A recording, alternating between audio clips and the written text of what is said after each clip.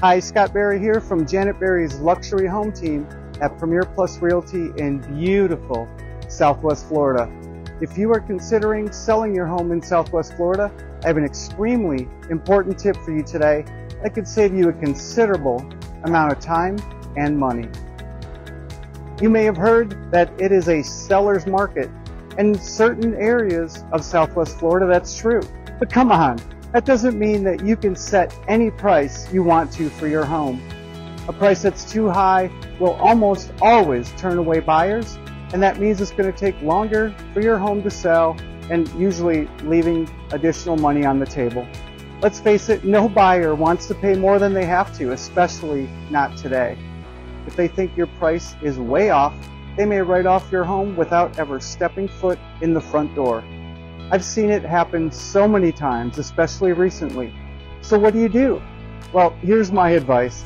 My 20 plus years of experience tells me that simply pricing your house at or even just a little bit under market value is actually going to get you a lot more attention.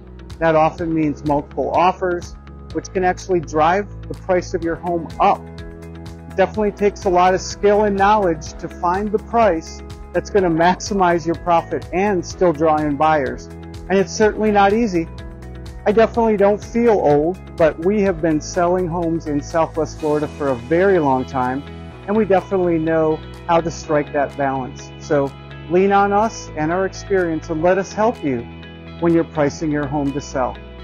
Also, since you've been to at least one of our websites, I just wanted to quickly give you a couple reminders. First of all, Please remember that our experienced team can help you sell and or buy any home in Southwest Florida anywhere.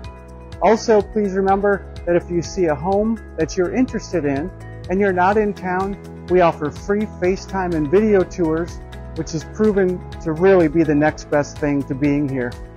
Just if you have any homes that you'd like to see through FaceTime or video call, just let us know and we will set that up for you.